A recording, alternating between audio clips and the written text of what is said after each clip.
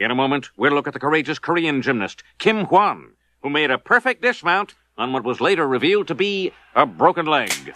Ah!